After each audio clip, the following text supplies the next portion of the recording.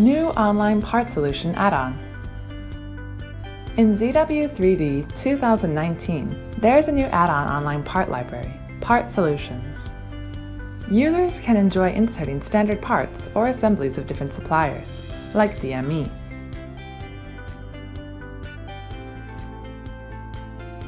Double-click on a standard part. It will show full series with detail variables.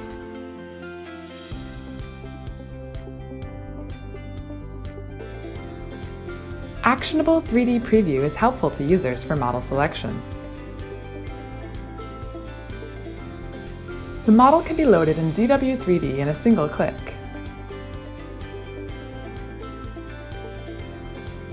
After inheriting, it will inherit the assembly structure.